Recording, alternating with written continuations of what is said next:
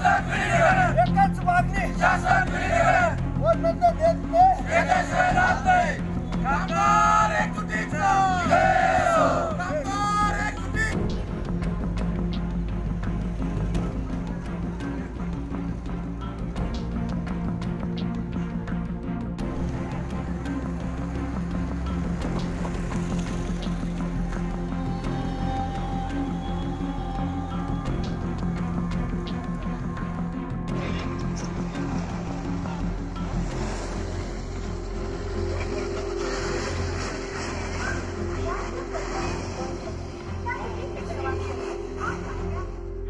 काय चाललंय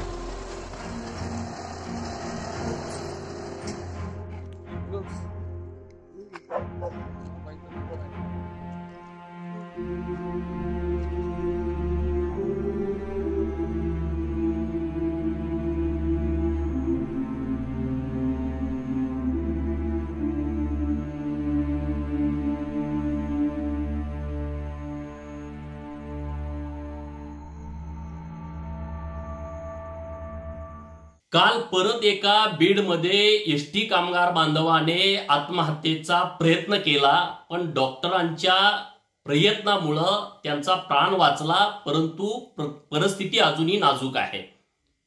आतापर्यंत एकतीस कर्मचाऱ्यांनी आत्महत्या केली पण हे प्रस्थापितांचं सरकार झोपेचं सोंग घेत आहे आणि कोर्टाची दिशाभूल करत आहे जर यांनी वेळेत कर्मचाऱ्याच्या मागणीची दखल घेतली असती तर एकतीस जणांचे प्राण वाचले असते. आणि महाराष्ट्रातील जनतेची जी गैरसोय झाली ती टळली असते. जराही नैतिकता शिल्लक असेल तर एकतीस जणांनी केलेल्या आत्महत्येची जबाबदारी स्वीकारून अनिल परब राजीनामा देणार का? आम्ही लोकशाही मार्गानं आंदोलन करणाऱ्या एस टी कामगारांच्या पाठीशी खंबीरपणे उभे आहोत. आर्यन खानची सुटका करण्यासाठी राज्याचे मुख्यमंत्री नवाब मलिक आणि गृहमंत्री यांच्यासोबत बैठका घेतात. पण एस टी कर्मचाऱ्यांच्यासाठी चर्चा करायलाही त्यांच्याकडे वेळ नाही आहे आपली जबाबदारी न्यायालयावरती ढकलून देऊन स्वतः नामा निराळं व्हायचं. हा सरकारचा डाव आहे.